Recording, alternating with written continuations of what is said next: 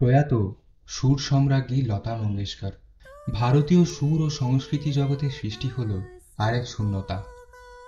আওয়াজ হি যার পেহচান, জীবন্ত সরস্বতী বলে যাতে সারা ভারতবর্ষের প্রতিটি মানুষ পুজো করেন, সেই সরস্বতী আজ আমাদের মাঝে নেই।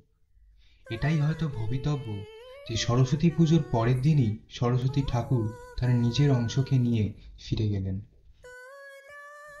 জীবন উনিশশো উনত্রিশ সালে এক মারাঠি পরিবারে লতা মঙ্গেশকরের জন্ম হয়।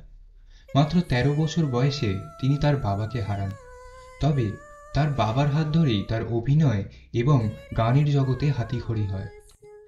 পরবর্তীকালে মুম্বাই যাওয়ার পর উনিশশো আটচল্লিশ সালে মজবুর ছবিতে দিল মেরা তোরা গানটিতে প্রথমবার তার গলা শোনা যায়।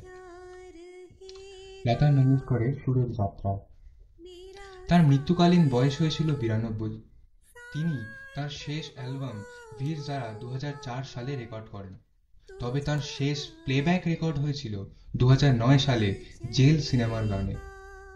তার প্রথম বাংলা গান রেকর্ড হয়েছিল উনিশশো ছাপ্পান্ন সালে। আর এই গানে সুর দিয়েছিলেন স্বয়ং হেমন্ত মুখোপাধ্যায়।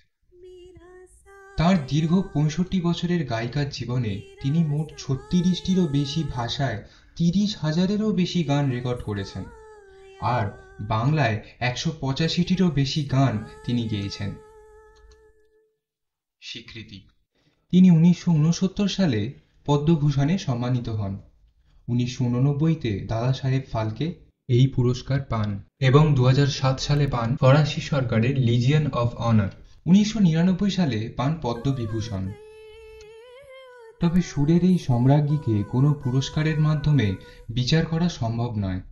লগ যা গালে মেরি আওয়াজ হি পেহচান হ্যাঁ পিয়া তোসে নেনা লাগেরের মতো গান আমাদের কাছে চিরস্মরণীয় হয়ে থাকবে তার মৃত্যুতে রাজনৈতিক মহল থেকে শুরু করে সাংস্কৃতিক মহল প্রতিটি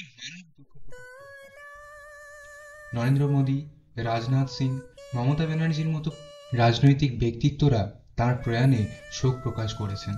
নীতিন গডকরি সাংবাদিকদের মুখোমুখি হয়ে বলেন स्वर्गीय लता मंगेशकर जी, हमारे देश के संगीत युग का एक इतिहास था।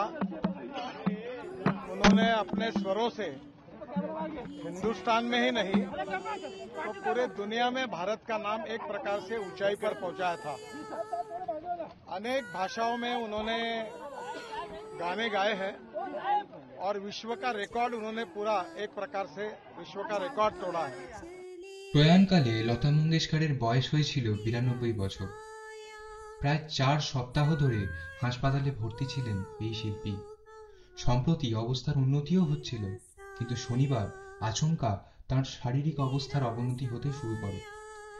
দিতে হয় ভেন্টিলেশনে। সেখান থেকে আর ফেরানো যায়নি লতাকে। রবিবার সকালে প্রয়াত হন তিনি।